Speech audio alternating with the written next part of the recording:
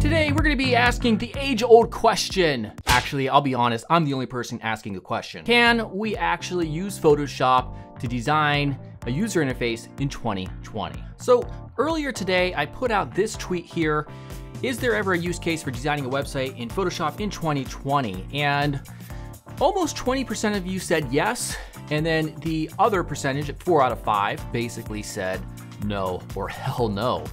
And that's going to be what I'm going to answer, at least one guy's opinion. Is there ever a use case for designing a website or an app in Photoshop in this current day and age? So I will also do this while talking over a time-lapse video of me actually designing a website, a modern website that relies heavily on photograph elements um, in the UI, and I'll give you my thoughts. I'll let you know when I first started using Photoshop, and that was so long ago. I am so old, it's, it's getting scary.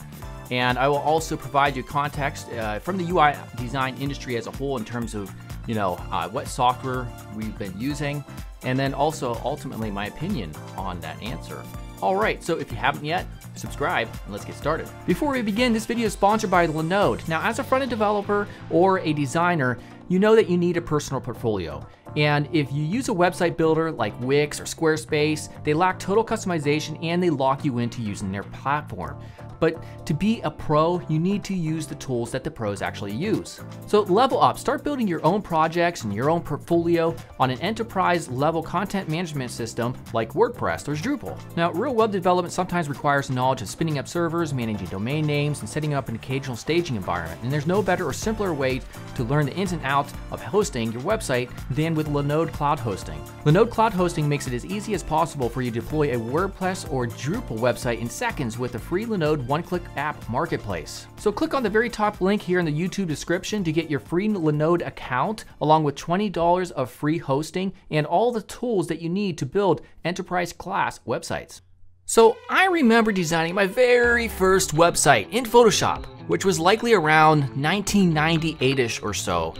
And even way back then, I understood that the utility in first designing a mockup before the HTML and CSS process was really important. It allows us designers to quickly and easily create and iterate over a UI design without having to tamper around with code.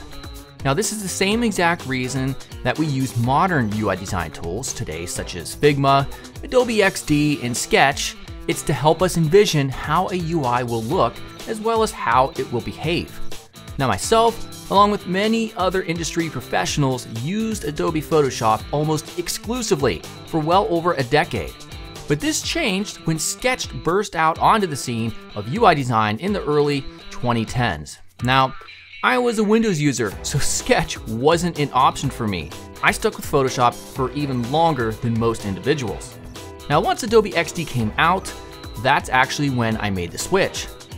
Photoshop was never built to be a UI design tool.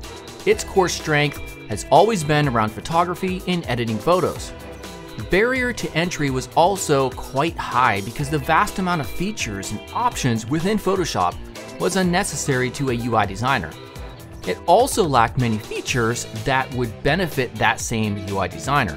So that's where Sketch came in, because it was the first design tool meant for UI designers, or one of the first at least, and it was much more simplistic. Now, fast forward several years later, and now we have Figma, Adobe Experience Design, and many others to choose from. Figma and Adobe XD have taken the improvements that Sketch introduced and integrated awesome prototyping capabilities and even with animations. But it's 2020, and I wanted to ask the question Is there ever a case where Adobe Photoshop is worth it for tackling a UI design? Well, I'm going to say yes, and on two fronts. The first front is using Photoshop as a supplemental tool. Some UI designs require photographs, and sometimes those photographs need editing that only Photoshop or raster based software like Photoshop can handle. So, depending on the UI design, I still use Photoshop as a part of the process. Now, on to the second front, which is why you're probably here. Yes, I think there's a use case for using Photoshop solely, as in the only app to design a user interface in, and that use case is this.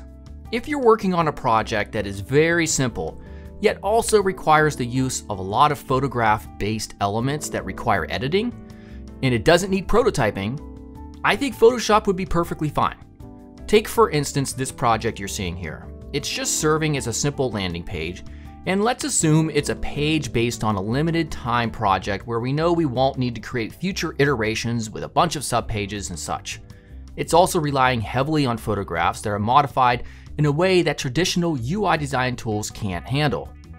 And we've also determined that we don't need any prototyping, so I think there's no problem with using Photoshop in this case, and of course, it's a really limited use case. I personally haven't designed a website in Photoshop in years upon years, and that's because for most projects, you want the ability to create reusable UI components, you want the ability to prototype between multiple artboards, you want vector tools for drawing and such.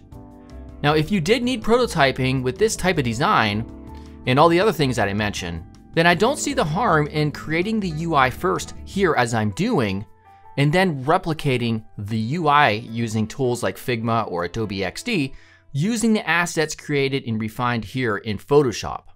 Nonetheless, I still thought this would be a fun video because many designers scoff at Photoshop for UI design. But in the end, the only thing that matters is the end result, not what tools you use to achieve said result. It's sort of similar to how developers get into debates about Vue versus React, PHP versus Python, or in recent times, Node versus Deno.